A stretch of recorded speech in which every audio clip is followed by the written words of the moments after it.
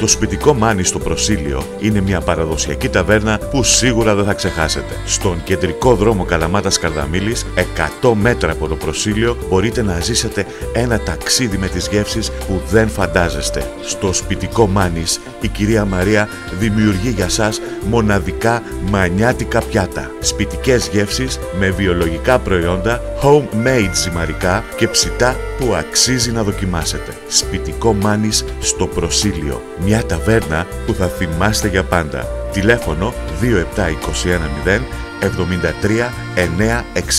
73 για όλο το χειμώνα, ανοιχτά Παρασκευή και Σάββατο βράδυ και Κυριακή όλη μέρα.